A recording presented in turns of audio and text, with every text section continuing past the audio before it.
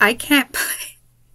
So games like SCP, uh, you know, Breachman or Pandemic, however it was called, I can't play that game. The same thing comes with Lethal Company. I can't play that game. Not because I think it's scary, no. It's just I have watched videos and I can assure you I'm going to act just like them. In Lethal Company, you're hitting the villain, you're hitting the monsters with with uh, the shovels. You got monsters that are lizards and they're blind. You got monsters that are, are giants. You got one that's got spikes on them. The Bracken, I think that's what it's called.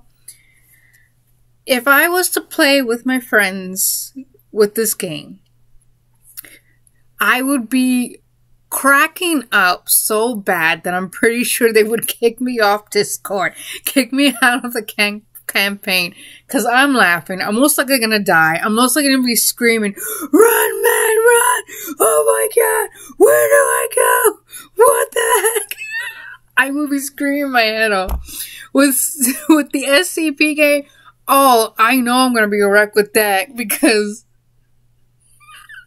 you see one video of like this one guy, like he he and his pals, they went in the elevator and he's like, "Go, my brothers, go!" And all of a sudden, the monster goes in and kills them all, like perfect timing.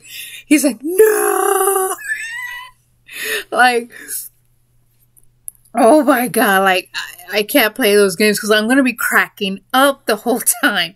I laugh when I when I'm scared. I laugh when I get hurt. I laugh when people get hurt.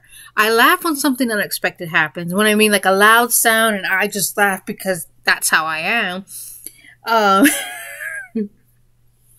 I I can laugh at a tip of a hat because of some funny memory or a, a video or someone said something or I could be doing something for the hell of it. It could make someone laugh, and I'm laughing because they're laughing, you know.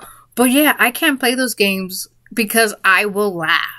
You know, when I get scared or anxious, I will laugh. That is just a natural response that I have had since I was a kid.